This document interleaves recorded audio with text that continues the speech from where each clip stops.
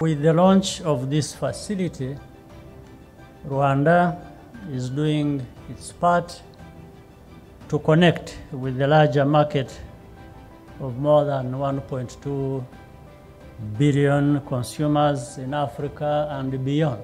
Logistics is about how you reduce the cost of transportation. And there is no country that is suffering from that like Rwanda. And what you do here is not just for Rwanda, it's for the neighbors.